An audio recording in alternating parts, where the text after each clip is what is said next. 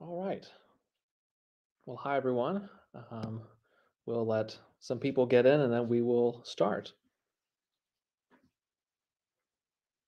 All right. Hello, hello. We'll wait a couple more seconds just to get people in and then we will get started.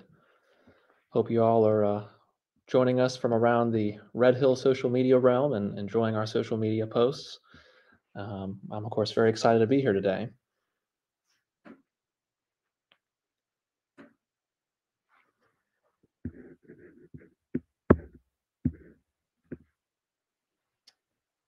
All right. So we'll go ahead and get started. Uh, well, hello, everyone, and welcome to uh, today's lecture, Death of a Patriot, Patrick Henry and Dying in the 18th Century. My name is Cody Youngblood, and I'm the Director of Historic Preservation and Collections here at Patrick Henry's Red Hill. As a nonprofit, we're devoted to education and historic preservation, and we maintain and interpret Red Hill, Patrick Henry's last home and burial place, as a historic site. Now, I'm very excited to see everyone here, and I hope you all will enjoy the presentation. And if you have any questions, don't forget to uh, put them in the chat box wherever you're joining us from, uh, and those questions will be answered at the end. Now, uh, Death of a Patriot is one of several educational talks held throughout the year uh, as part of our Red Hill Rediscovered lecture series. And of course, we're very grateful to our uh, funders at Virginia Humanities for helping us continue these programs.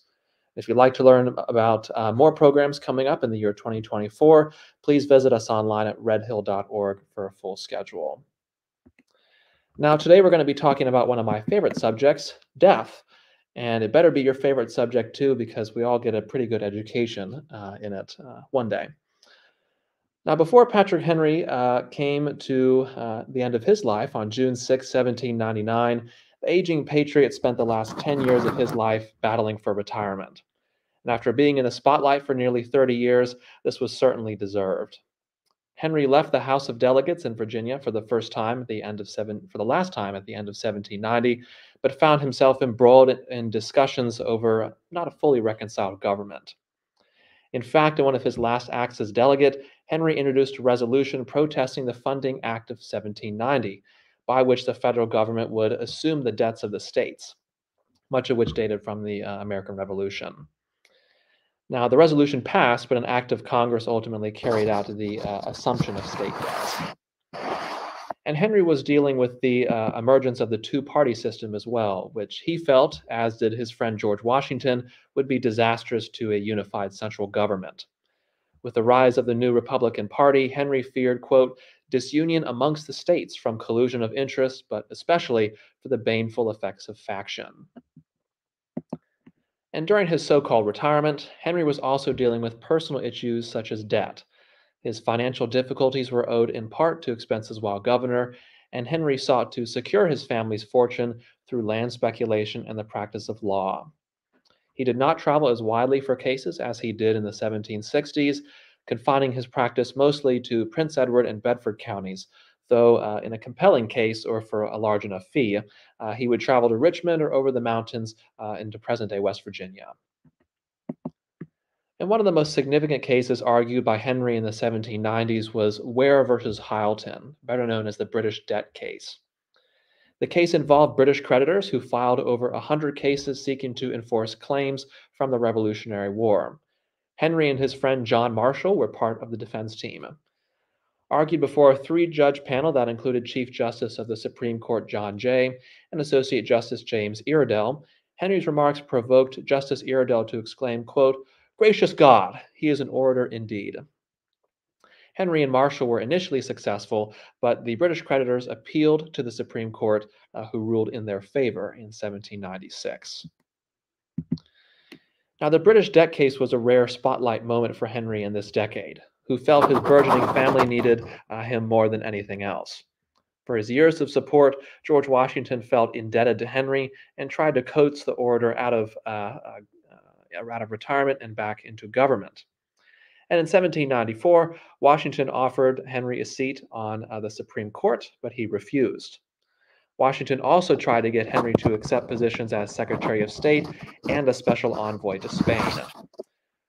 Now, the letter you see here on the right uh, is in the Red Hill collection, and it's actually a draft copy of the letter Henry sent to Washington in October 1795, explaining his reasons for declining the positions of Secretary of State. Henry says, quote, My domestic situation pleads strongly against a removal to Philadelphia. Having no less than eight children by my present marriage, and Mrs. Henry's situation now forbidding her approach to the smallpox, which neither herself nor any of our family ever had. To this may be added other considerations arriving, arising from loss of crops and consequent derangement of, fi- of my finances. And what is of decisive weight with me, my own health and strength, I believe, are unequal to the duties of the station you are pleased to offer me. Now, Washington gracefully accepted Henry's refusal. Meanwhile, Virginia Governor Light Horse Harry Lee wanted to appoint uh, Henry to the U.S. Senate.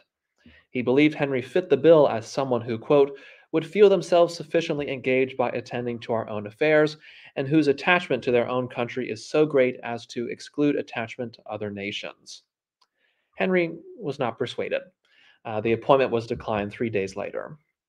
Even President John Adams uh, attempted to bring Henry back into the fold by appointing him minister to France in April 1799, but once again, Henry declined, citing bad health. By refusing these federal positions and thus political power in favor of his farm and family, this unintentionally increased Henry's popularity among the common man. And speaking of farms, Henry's retirement began with his move to Campbell County, Virginia, to Long Island Plantation in 1792.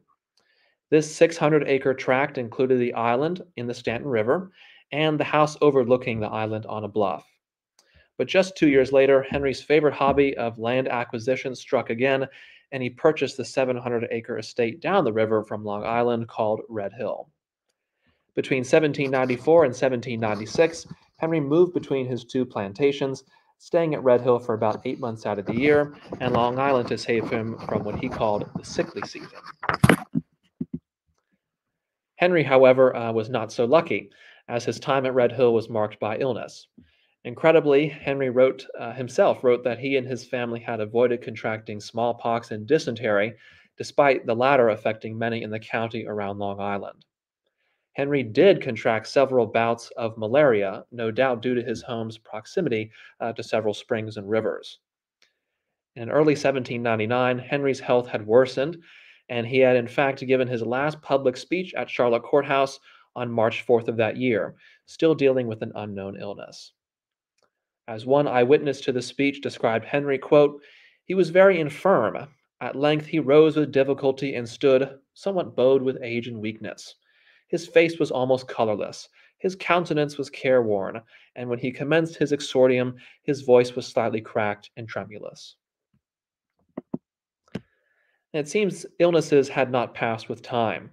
In a letter to Robert Campbell on April 1, 1799, Henry wrote these ominous words quote, a complaint like the gravel has rendered it impossible for me to ride out today. I applied to Dr. Cabell for medical aid. Now, the term gravel is an 18th century medical term for kidney stones, and it's possible Henry was dealing with these during his speech uh, a month before. And although it seems out of the ordinary today, sickness and disease were commonplace in 18th century America.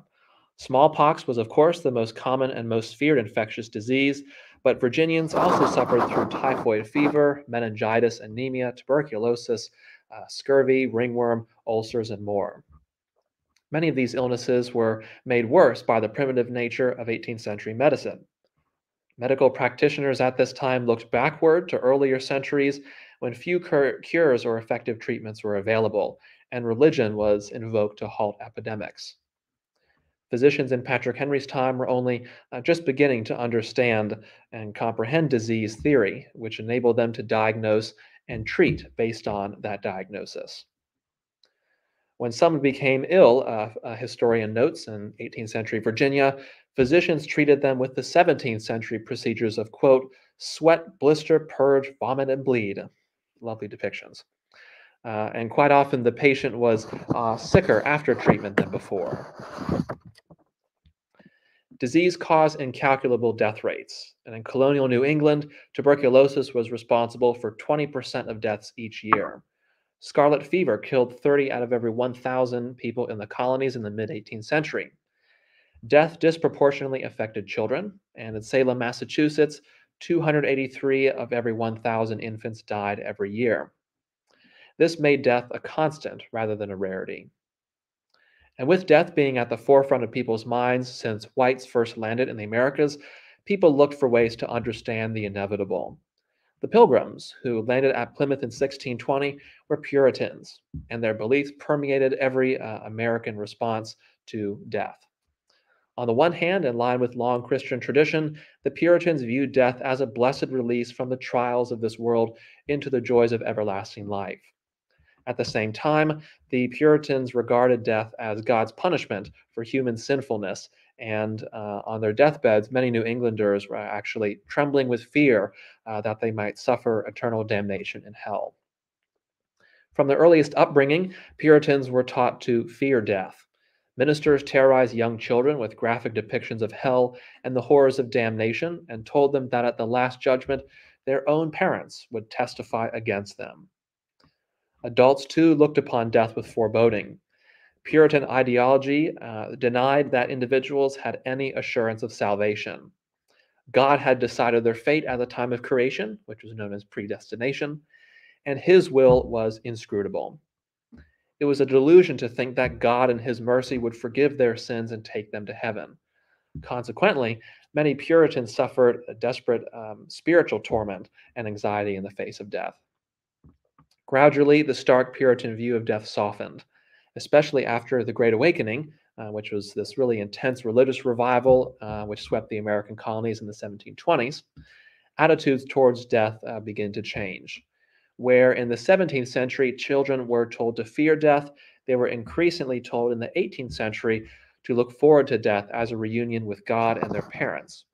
Adults, in turn, were increasingly assured that a life of piety assured salvation. And this feeling rang true in Patrick Henry's family.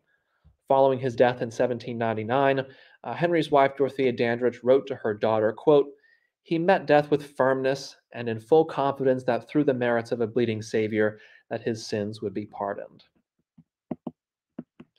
And changing attitudes in the religious views of death led to changes in how Americans socially confronted it as well.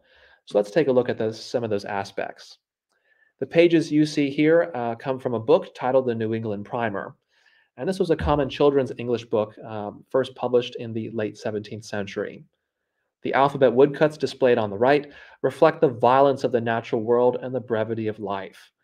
While the content of these illustrations may appear grim, especially for children, Puritan parents in New England were confronted with the difficult knowledge of high infant mortality rates and the uh, potential damnation of unrepented children. These works intended to uh, teach and remind children of this danger.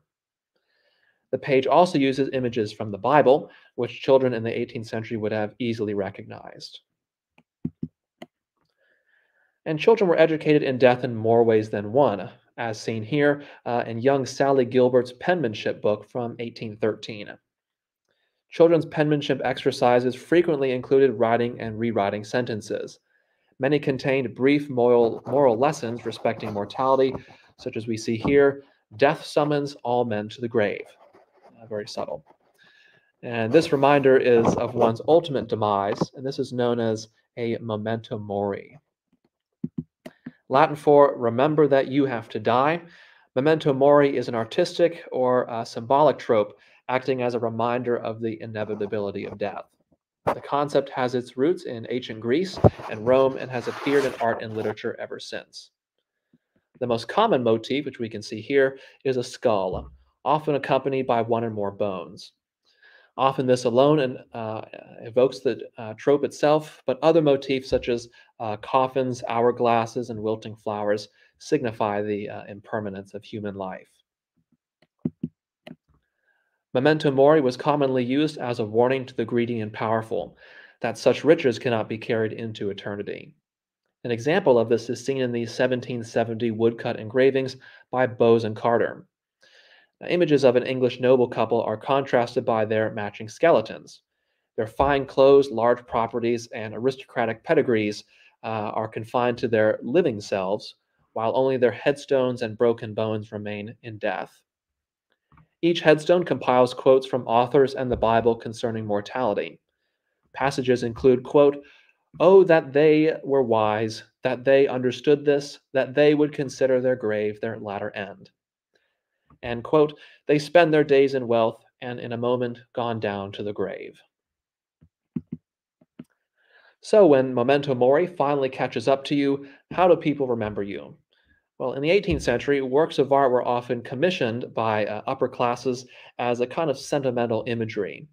Mourning and sentimental imagery represent a person's desire to retain some tangible memory of loss. Despite Protestant beliefs that death ultimately led to eternal life, the mourning imagery of the 18th century suggests that people felt profound despair when dealing with the death of loved ones. That feeling of anger, frustration, uh, and sadness were uh, common sentiments among the bereaved. One fascinating example of mourning art is this death mask, and a death mask is a cast of a deceased person's face. They originated in the late Middle Ages and were produced in Europe and later in America. These casts were used uh, as objects of memory for the bereaved and as likenesses uh, for the use of portrait painters. At one time, the owner of this watercolor uh, illustration of a death mask believed it to be the representation of Alexander Hamilton. Although no death mask was created from Patrick Henry's face, masks were made from the faces of people like uh, Marie Antoinette, Napoleon, uh, and even John Dillinger, the famous gangster. And today, Red Hill owns several examples of mourning art, including this bracelet, which was commissioned in memory of William Henry, brother to Patrick Henry, uh, who died on January 2nd, 1785. The bracelet would have been worn by a female member of the family during the period of mourning. The image of a fictitious woman crying over a, a, fictitious headstone was a popular motif for works of this kind. The custom inscription on the stone bears William's uh, name and death date, as well as the epitaph, Life how short, eternity how long. And here is a similar image painted into a brooch, commemorating the death of Patrick Henry. Once again, the fictitious woman cries over Henry's fictitious grave. Uh, both images were once owned by Henry's sister, Jane Henry Meredith, who may have had these commissioned in remembrance of her deceased brothers. The Henry family also engaged in uh, the common practice of hair work to remember the deceased. Hair work acted as a physical reminder uh, for a loved one by literally using pieces of the loved one, in this case, their hair. In the 18th century, hair work was more understated. Uh, mourners might preserve small locks of hair under glass in brooches or rings. But you may be more familiar with the 19th century practice of hair work, uh, which uh, you can see two examples of here, where hair was made into wreaths resembling, uh, resembling flowers. This particular piece of hair work in the Red Hill collection contains hair belonging to Patrick Henry himself. The ring is engraved on the inside band with Henry's name, and the slight red hair of the uh, slight red color, excuse me, of the hair, uh, both indicate this to likely actually being uh, his luscious locks. Uh, now we don't know if Henry's hair was cut before or after his death, uh, but either one is likely. And a second mourning ring in our collection uh, is a ring containing the hair of Patrick Henry's mother, Sarah Winston. Before her death in 1785, Sarah likely commissioned this ring. The gray hair inside has been woven together to form uh, a slight pattern, which you can see here on the left. And Sarah, in fact, gave this ring to her son Patrick as part of her will, saying in it, quote, I give to my son Patrick Henry a mourning ring. The ring served as a reminder uh, that in life, Henry was forced to confront the death of uh, many loved ones. Henry's father died uh, in 1773 and was buried at his Mount Brilliant plantation in Hanover County. And just two years later, tragedy struck again when Henry's wife, Sarah Shelton, died from an unknown cause around the age of 37. Sarah had been dealing with a mental illness for several years before this, so her death no, no doubt brought a heartache to Patrick, who never mentioned her again. She was buried in an unmarked grave, possibly at Scotchtown or uh, Rural Plains Plantation. Patrick's mother died a decade later in 1784. In traditional fashion, Sarah's coffin was placed on view in the parlor of her home, Winton, in Amherst County. uh, before she was buried in the family cemetery. And having 17 children uh, also caused Henry to experience death on a regular basis. Of those 17, six died before their father, but interestingly, Henry never knew the sixth child, Anne Roane, had died. Anne's death on May 22, 1799, was just one week before Patrick Henry would die. Her distressed husband, Spencer Roane, wrote a letter to Henry on May 24th, uh, informing him of his daughter's death. Quote, with a degree of anguish which I have never before uh, the smallest conception of, I have to announce to you the death of my ever dear and well beloved Anne. She died two days ago at Mr. Aylett's a week uh, after uh, illness. Patrick Henry, however, never received this letter. When it arrived at Red Hill on June 1st, the family withheld it from Henry, thinking it was too much for him to bear. Another of Henry's children, Edward, nicknamed Neddy, faced death before his father. Apart from the illness and death of his first wife, no concern of Patrick Henry's family life uh, brought him more grief, agony, and sadness than the welfare of Neddy. Poor Neddy, as he was uh, sadly referred to, led a difficult life. He struggled to overcome an abnormal home life and ill health in order to meet the high expectations placed on him as an older son. The youngest son of Sarah Shelton, Edward became motherless at age three. Oldest older sister Martha and uh, aunt Jane Henry Jane Meredith Henry uh, cared for him while their father busily served his country. When the family moved to Salisbury Plantation, the cramped living quarters necessitated boarding Neddy elsewhere. When the Henrys moved to Prince Edward County, Neddy was again sent away uh, and housed to another aunt's house. And in the summer of 1792, he had been struck by a mysterious disease similar to the gout uh, while visiting the home of Colonel William Fleming. The illness particularly afflicted his leg, restricting travel and forcing him to stay at Fleming's until recovery. Patrick Henry felt a deep obligation for their assistance and uh, expressed his gratitude to Colonel Fleming in this letter you see here, which is currently on loan at Red Hill. In it, Henry says, quote, I beg leave to make you uh, my best acknowledgement for your care and attention to my son. I persuade myself that he has that he also entertains a proper sense of gratitude for your goodness. I hope it will not be long before he will render you some compensation as evidence of it. Now, luckily, Edward did recover, uh, but he continued to struggle in life as a failed lawyer and lover after his sweetheart, who just so happened to be his cousin, uh, married another man. And in late 1793, another illness forced Neddy to stay at Winton, the home of his Aunt Jane and her husband, Samuel Meredith. Patrick Henry wrote to his daughter Elizabeth in October of 1793, hoping for Neddy's recovery, saying, quote, Poor Neddy has been at the point of death at Colonel Meredith's. He was mended a little when we last heard from him, and there were hopes of his living, and I trust he mends, or we should have heard before this. Nettie would luckily recover. But sadly, after a single visit to Red Hill, poor Neddy died October 1794 at Winton at the age of 23. In memory of his passing, Patrick and his second wife Dorothea renamed their newborn infant son Edward Winston Henry. And as Edward was a Freemason, it was customary among the Masons, at the request of a brother upon his deathbed, to accompany his body to its burial site and to assist in interment. According to the Marshall Lodge of Lynchburg, Virginia, quote, November 5th, 1794, on a motion made and seconded, it is ordered that the worshipful master write Patrick Henry, Esquire, requesting permission for the lodge to attend the funeral of brother Edward Henry, deceased. Patrick Henry approved the request. According to plan, members from George Lodge 32, Campbell Lodge 40, and Buckingham Lodge 38 marched in form to the town of New Glasgow, where Winton is located, and attended Edward's funeral service. They then marched to his gravesite and performed the traditional ceremony, which may have um, included depositing Edward's Masonic apron, an emblem of innocence, and a sprig of evergreen representing the acacia plant, a Masonic symbol of immortality and rebirth, in the coffin. In the face of death, Patrick Henry also acted as comforter with words of love and encouragement. Henry's sister, Anne Henry Christian, was dealing with the death of her husband William in 1786 when he wrote a consoling letter.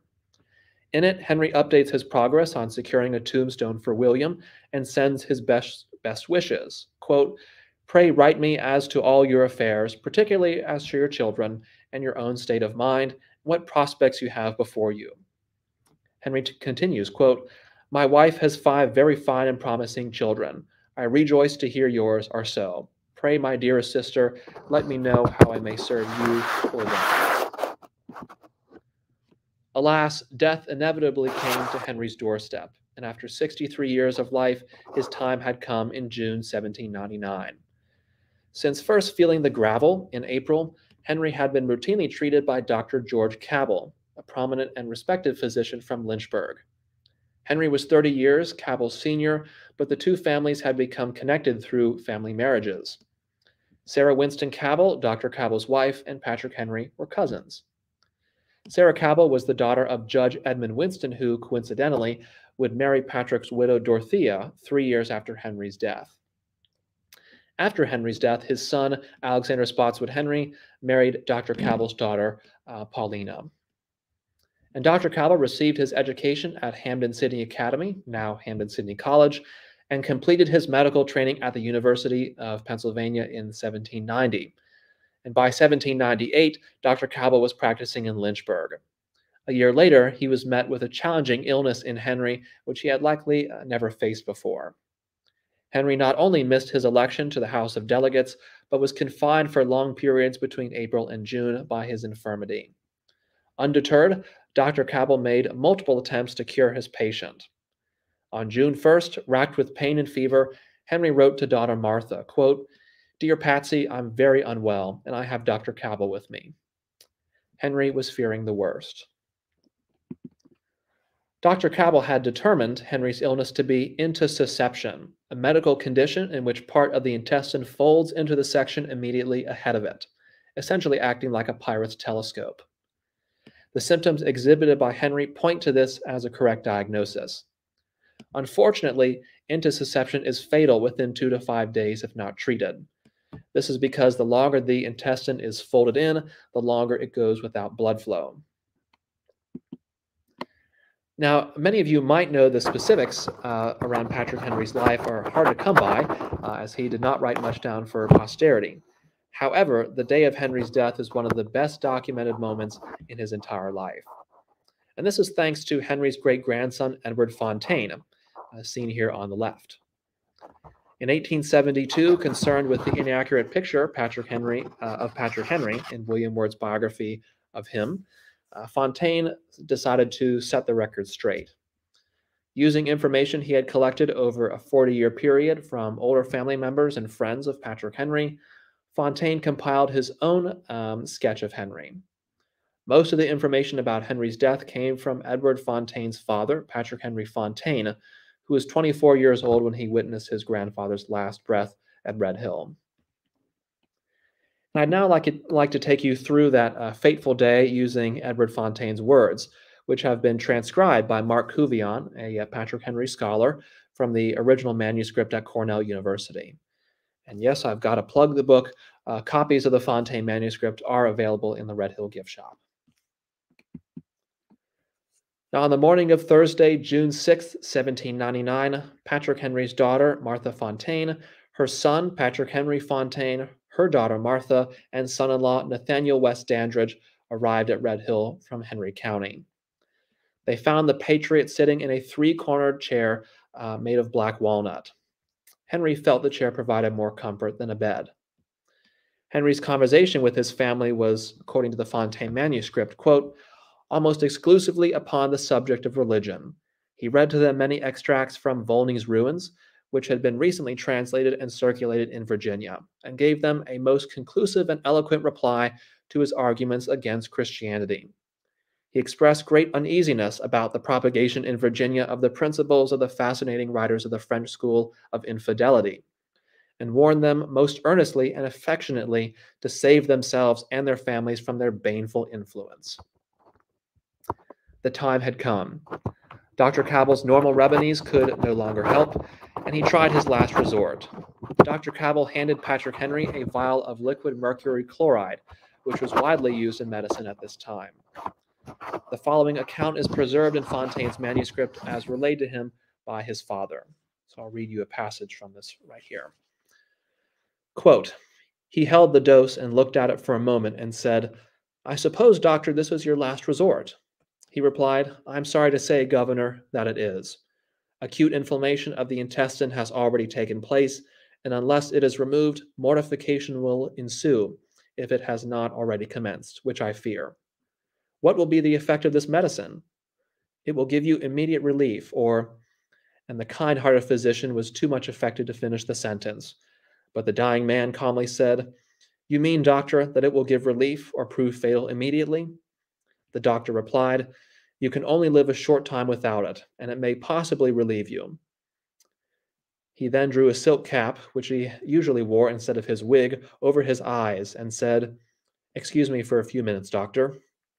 And still holding the vial in his hand, he bowed his head sitting in his chair and prayed audibly a childlike, fervent prayer for a preparation for death and for the welfare of his family and country. He then swallowed the mercury without any emotion. In the meantime, Dr. Cabell, who was a skeptic, had left the house and overwhelmed with sorrow. He had thrown himself upon the ground underneath one of the trees in the yard, where he wept bitterly. But he soon returned to his patient, whom he found sitting looking at the blood congealing under his nails of his fingers, and comforting his wife and family weeping around him. Among other things which he said, after expressing his gratitude for the goodness of God to him uh, for all his days, he added, I feel truly thankful to my Heavenly Father, who, after blessing me all my life, is permitting me now to die without suffering any pain. His voice was clear and distinct, and his last words were addressed to his friend Dr. Cabell. He fixed his eyes affectionately upon him and said, Doctor, I have used many arguments to prove to you the truth of the Christian religion. I will now give you my last argument by showing you how a Christian can die. In a few moments more, he ceased to breathe, and without giving the signal of a parting pang to the peaceful body, his mighty spirit passed away from earth and time. Patrick Henry was dead. News of his passing spread rapidly throughout the Commonwealth and the nation. On June 12th, John Marshall wrote to George Washington, quote, Virginia was sustained a very severe loss, which all good men will long deplore, in the death of Mr. Henry. On June 14th, the Virginia Gazette published a particularly mournful article saying, quote, Mourn, Virginia, mourn, your Henry is gone. Ye friends to liberty in every clime, drop a tear. Patrick Henry was buried at Red Hill near a large group of hackberry and black locust trees in the family cemetery. His grave was either unmarked or bore a simple wooden headstone facing east, which kept with Christian tradition so that on the morning of the day of resurrection, the bodies will face their Holy Father. The grave you see today, and in these images, would not be placed over Henry's body until much later. Nearby was the grave of Henry's infant daughter, Jane Robinson Henry, who had passed a year prior at only four days old. No funeral ceremony was held until July, when on a Sunday morning, Reverend Archibald McRoberts, minister of nearby Hat Creek Presbyterian Church, gave the parting benediction over Henry's grave. The Henry family had uh, entered a period of mourning, which lasted several between several weeks to several months, depending on the social rules of the day. By the 19th century, a widowed woman was expected to be in a state of mourning anywhere from a year and a day after her husband's death or for the rest of her life. In the 18th century, many colonists wore specific outfits to outwardly express their feelings of grief and mourning. Although varied, mourning clothes were plain, usually consisting of dull material without embellishment. Trimmed with white linen or black crepe, uh, dresses were made uh, of bombasine, a blend of uh, wool and silk, with either button or black ribbon closures. On the head, hoods, veils, caps, or any combination of the three uh, were made of and embellished with crepe and silk. Accessories included handkerchiefs or fans. For men, mourning suits were made of woolen material, most likely broadcloth, shalloon, or a combination of the two, with crepe wrapped around the band of a hat. Depending on the wealth of the family, uh, enslaved servants would also receive mourning clothes, although of lesser quality and often only a few pieces. The wealthy could afford to have a set of clothes made specifically for mourning purposes, while the poor dyed their everyday wear to serve as mourning clothes. As the development of the Atlantic trade um, facilitated easier means of exchange between Europe and the colonies, colonists began to use displays of material goods to project declarations of wealth traditionally limited to the wealthy. Mourning materials made available uh, to increasingly wealthier colonists allowed them to participate in traditions previously reserved for European aristocracy. And when we look to Henry's burial, unfortunately, no additional details concerning Henry's exist, but history can help us guess what may have happened. In the late 18th century, the deceased were not often buried in their clothes, as clothing was both laborious to make and a significant expenditure. Clothing in colonial America was often passed down to and altered for younger generations of a family. Instead, most people were buried in shrouds. Shrouds were robes split down the back with ribbons or strings at the openings for the hands and feet, essentially enclosing the deceased uh, within the shroud. The quality of the shroud and the material of which it was made depended on the wealth of the deceased. Uh, rough, cheap fabrics were used when burying the poor, while higher quality fabrics, embellished with ruffles or pleats, as we see here on the left, uh, were used to inter the wealthier. For those who needed to be buried promptly or who did not have a family to attend their burial, winding sheets, usually of uh, Osnaburg, were wound around the body before it was placed in the grave. Henry's shroud, if one was used at all, uh, was likely simple and un- unembellished. It's likely Henry's shrouded body was placed in the most popular of burial receptacles, a coffin. As today, coffins came in grades and complexities reflecting real or supposed wealth or social status. The poorest families rented the reusable parish coffin and went to their maker in no more than a winding sheet. The simplest wooden six sided coffins were of pine, often covered with fabric secured with black painted brass tacks. George Washington's coffin, a replica which is seen here, was made in a similar fashion but with more expensive silver hardware. Now, we can't say exactly what Henry's coffin looked like, but again, it was probably very simple. And unlike today, where we have craftsmen who specialize in casket construction, the makers of these coffins in the 18th century were called cabinet makers.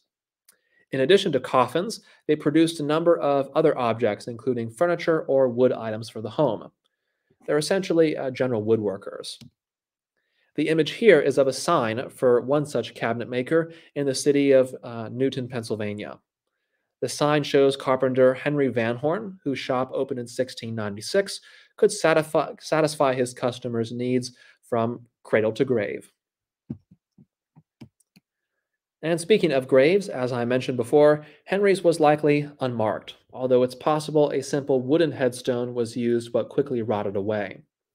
So, where did this marker come from? It's thanks to Patrick and Dorothea's youngest son, John, that these stones were placed here. In 1857, John inquired about the creation of a permanent stone marker at the site of Patrick and Dorothea's graves. On January 9, 1857, John received this letter from a stonemason named Kellogg in Milton, North Carolina, with a proposed design of Henry's new marker. This design included a large marble slab held atop four marble pillars. This design was never realized, but it is obviously inspired by 18th century markers of a similar style. These are known as uh, table graves. And pressure from the public may have had something to do with John Henry's placement of these markers.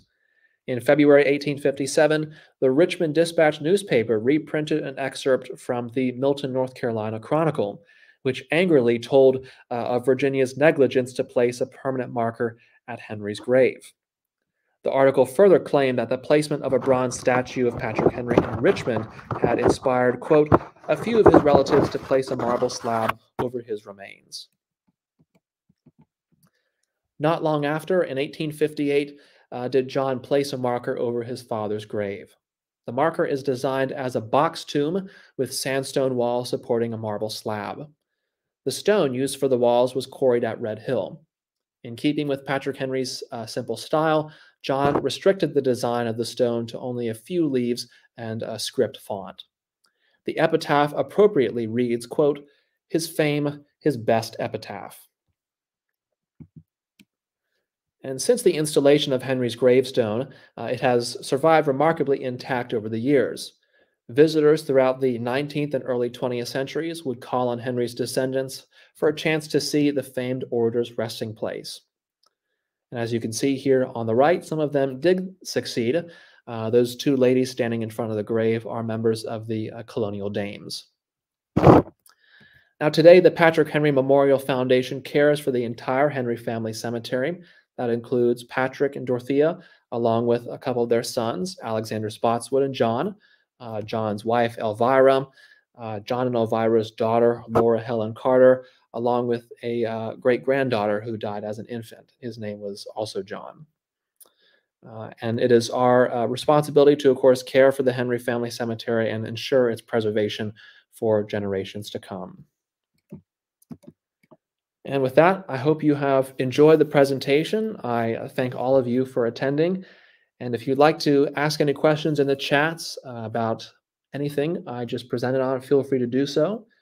Uh, but if you have longer questions, email, phone numbers here, uh, along with our uh, website. So I'll give people a few minutes if they want to ask any questions, and then we will wrap it up for the day. Thank you to uh, Mike and Kelly on Facebook. Uh, they both said this was a great presentation. I appreciate you both, and we hope to see you at Red Hill soon.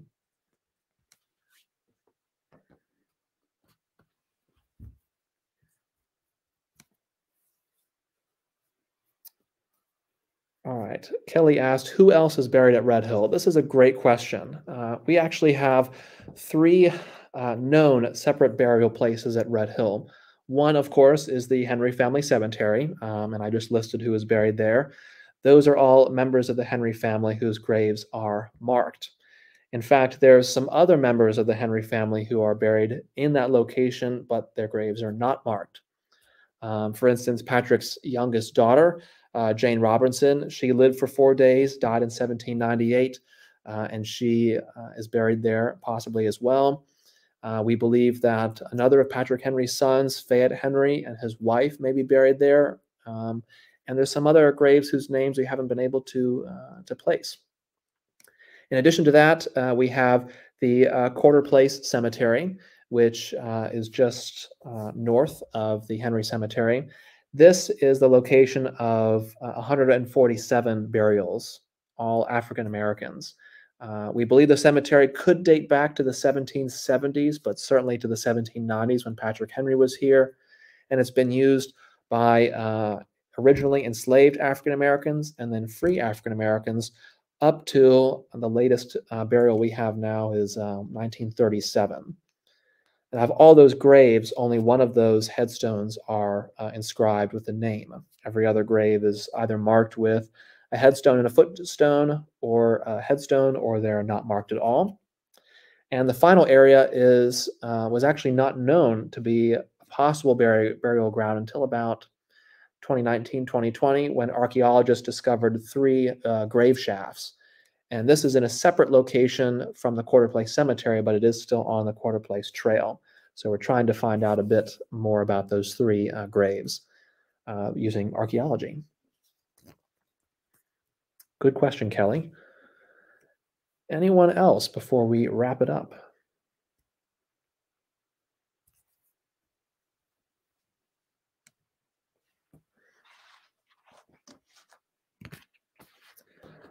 All right. Well, folks, again, thank you very much for uh, joining me on this uh, lovely Saturday morning. And uh, I hope you enjoy your fall and happy Halloween. Thank you again, everyone. Bye bye.